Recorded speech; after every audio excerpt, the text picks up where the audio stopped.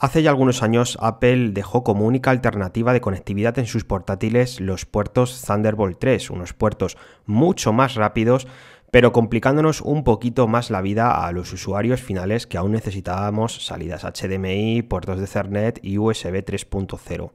Pues la conocida marca de T-Box Minix ha fabricado un dispositivo que nos permite algo más que conectar nuestros dispositivos a nuestro MacBook Pro o MacBook Air. Hola a todos chicos y bienvenidos de nuevo al canal JTC Channel. Hace ya algunas semanas la marca Minix se puso en contacto conmigo para hacerme llegar uno de sus nuevos dispositivos, un dispositivo que a día de hoy no está todavía en el mercado.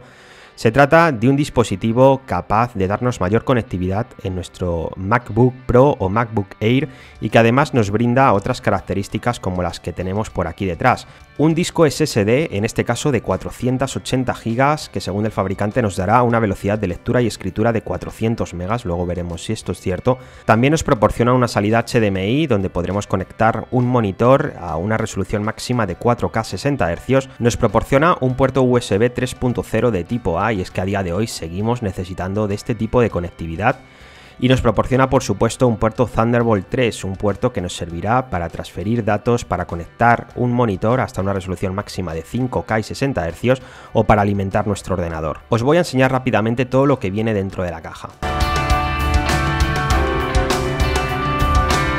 Pues por aquí tenemos todo lo que nos incluyen, pero vamos a verlo por partes. Nos incluyen una funda de cuero con la marca Minix grabada en su parte inferior, una funda de transporte para que no se dañe nuestra unidad.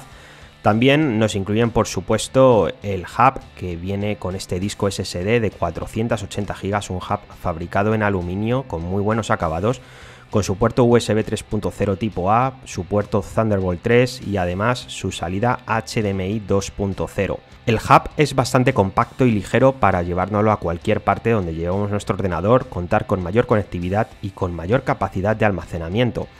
En la documentación que nos viene adjunta nos da un poquito las características de este accesorio y nos dice que también lo tendremos disponible en 240 GB, 480 GB y 960 GB. Para conectarlo a nuestro MacBook Pro ocuparemos dos puertos Thunderbolt 3 y la verdad es que queda muy bien integrado, queda muy estético con los ordenadores de Apple. Y es que como muchos sabéis, Apple pide una verdadera pasta cuando queremos ir aumentando la capacidad de almacenamiento de estos ordenadores y por lo general solemos comprarlos con la capacidad justa y luego utilizamos discos duros USB.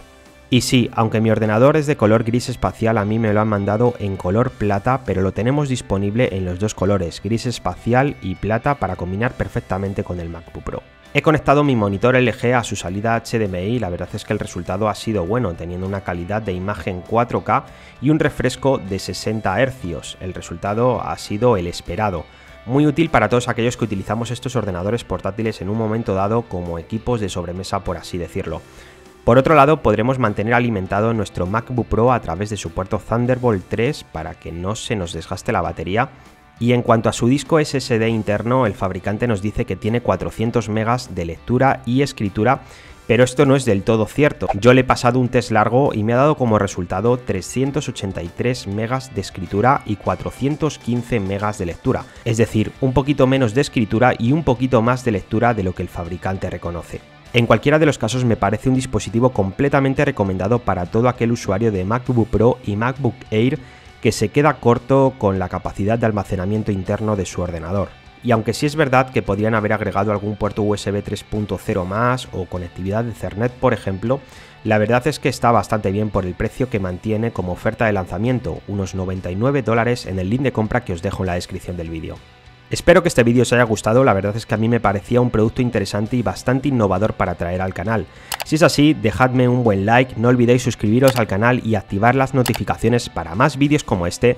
Una vez más, muchas gracias por estar al otro lado y yo me despido de todos vosotros, hasta el próximo vídeo.